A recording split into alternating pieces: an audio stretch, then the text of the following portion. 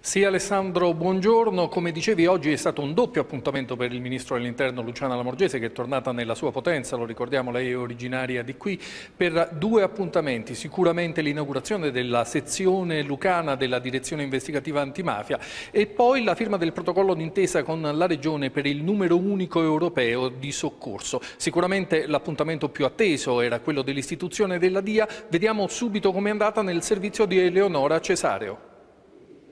In realtà la sezione lucana della DIA, un momento atteso e auspicato da più parti che si è realizzato questa mattina con l'inaugurazione della sede in via Vaccaro a Potenza. Ospite d'eccezione la ministra dell'Interno Luciana Lamorgese, che ha fortemente voluto esserci. Inizialmente prevista per il 25 febbraio, la cerimonia è stata rinviata ad oggi per l'emergenza guerra in Ucraina, proprio per dare al ministro la possibilità di esserci. Una polizia specializzata pronta al contrasto alla criminalità e ad operare in sinergia con tutte le altre forze presenti sul territorio. Questo l'impegno degli uomini che opereranno a Potenza. È una vittoria di tutti, è una vittoria della, della Basilicata, del, del, popolo della Basilicata che ha uno strumento in più per difendersi dall'aggressione della criminalità organizzata che è sempre più pervasiva ed è presente su tutto il territorio regionale. Le priorità sono sicuramente l'aggressione eh, al patrimonio di queste organizzazioni che hanno accumulato nel corso di decenni e, e che la DIA ha tutti gli strumenti per poter individuare e, e quindi consentirci di giungere al sequestro e alla confisca dei, dei, beni. Alzare il livello di attenzione e di prevenzione in Basilicata prima che la situazione si deteriori nel contrasto ad una criminalità nuova ma presente in numerose aree. È una mafia nuova, è una mafia che viene stata importata, come dicevo prima, eh, da un esterno, ma che ormai è radicata in alcune zone, soprattutto in alcune zone costiere e nella zona de, di Melfi. Ha una sua importanza ormai, ha una sua storia e va affrontata con professionalità E il Ministro ha parlato del ruolo della DIA in una regione che è accerchiata da altre realtà dove le criminalità organizzate sono fortemente presenti, ma ha posto anche l'accento sul momento attuale, quello del Piano Nazionale di Rinascita e Resilienza, che porterà qui un fiume di denaro che porterà la criminalità organizzata a correre come le api al miele, come le mosche al miele. Sentiamo.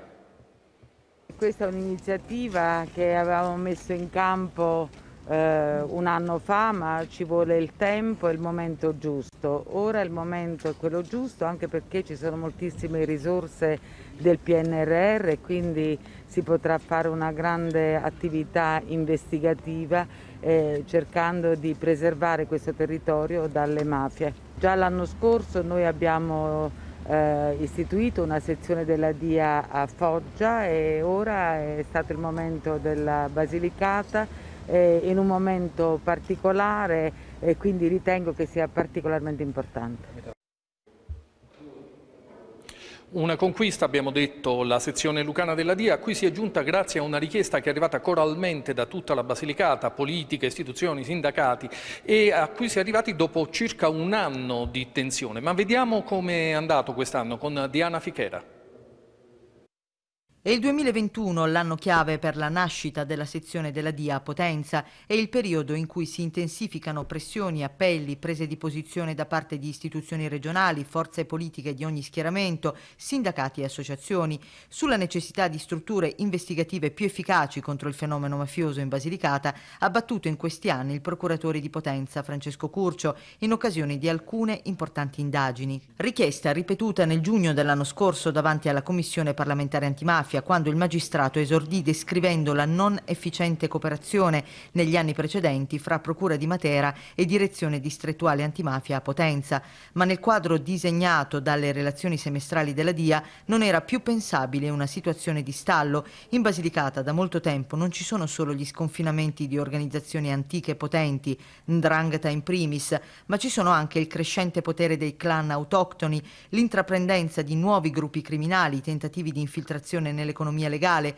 un mondo di mezzo in fermento deciso a non lasciarsi scappare la grande occasione del PNNR. E dopo la cerimonia di inaugurazione della DIA, in prefettura la seconda parte della giornata con la firma del protocollo d'intesa per il numero unico di emergenza europeo, firma fatta con il governatore Vito Bardi, al 112 saranno accorpate tutte le richieste di sicurezza e sanità in una centrale unica che smisterà ai soggetti competenti l'ordine di intervento. Contemporaneamente, ha spiegato il prefetto Michele Campanaro, nella prima fase continueranno a funzionare tutti i numeri che saranno concentrati, termineranno tutti quanti importanti, però la centrale unica che gestirà le richieste di interventi. La Basilicata sarà così la dodicesima regione italiana ad attivare questo servizio che è stato voluto dall'Unione Europea e porta molti benefici operativi. Non siamo secondi a nessuno, ha detto il governatore Vito Bardi, che ha annunciato anche una campagna di comunicazione per informare i cittadini di questa novità e per abituarli all'utilizzo del nuovo numero di intervento. Il Ministro in conclusione ha fatto poi riferimento anche alla tragedia dell'Ucraina e al problema problema dei rifugiati, un tema diverso, ha detto, ma non potevamo non fare un accenno a questa tragedia che riempie le nostre vite e le nostre giornate. E con questo è tutto, Alessandro.